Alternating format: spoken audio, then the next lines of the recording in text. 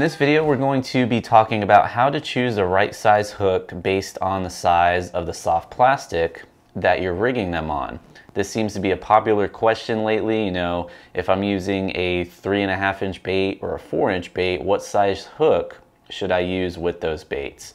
And there's a general rule of thumb that I like to go with that will definitely help you out that I want to share with you in this video. Now when you get to the end of this video, if you did enjoy it, please be sure to give it a like. Also, if you haven't done so already, be sure to subscribe to our channel where we put out fishing tips pretty much on a daily basis to help you catch more fish. So as far as the sizing goes, now I have some hooks here that are weighted that really doesn't affect the size. These are just some hooks that I had on hand that I like to use and I want to talk about the size uh, specifically in this video. So the general rule of thumb that I go with is to match the number as far as the size goes on the hook to the uh, length in inches of the bait. So for example, if you're throwing a three inch um, bait such as a Slam Shady, the Z-Man Slam Shady uh, Minnow Z, I like to go with a 3 aught hook. So again, 3 inch bait, 3 aught hook. Same thing with a 4 inch bait. 4 inch bait, 4 aught hook. 5 inch bait, 5 aught hook.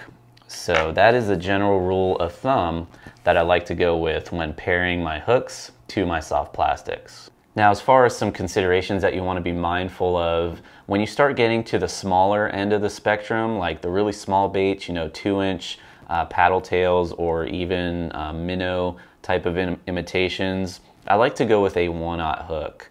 Uh, I really don't throw any bait smaller than two inches. In that case, you may need a fly rod. But if you have a bait that's really small, like in that two inch range, go with a one-aught hook.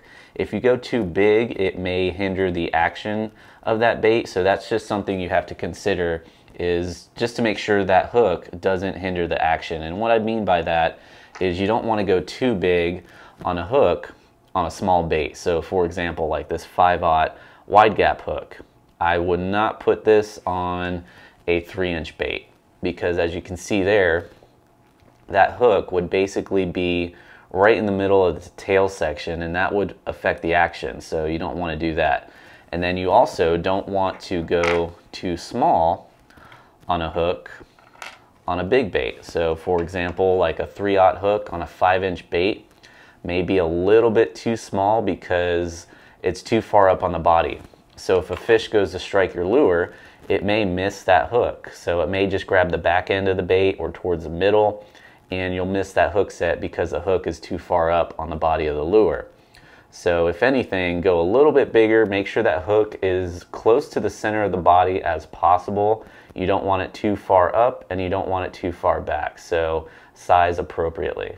Now one last consideration that I want to talk about are soft plastics that happen to be in between on sizes. So for example, like a three and a half inch bait or a four and a half inch bait or a three and three quarter inch bait. If it's a number in between, I like to round down to the hook size.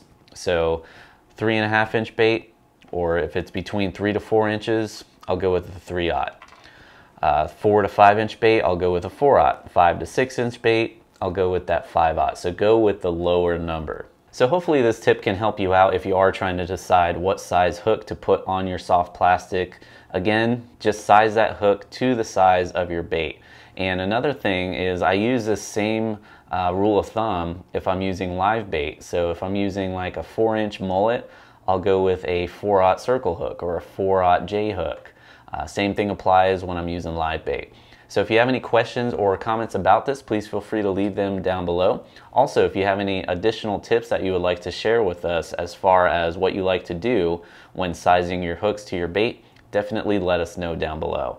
Until next time, thanks for watching and I'll see you on the next video. Hey there, it's Joe Simonds, one of the co-founders here at Salt Strong, and have you claimed your free pack of these irresistible Slam Shady paddle tail lures? We designed this lure with over 12,000 serious inshore anglers, including many full-time guides, to go out there and catch more redfish, more speckled trout, more snook, more flounder, more inshore saltwater slams. And if you want a free pack to try out a sample yourself, click down below right now. We have one free pack per angler while supplies last. Click down below right now.